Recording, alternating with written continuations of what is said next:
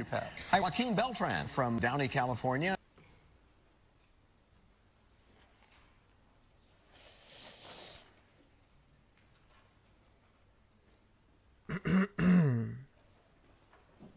uh, you want to mention your family?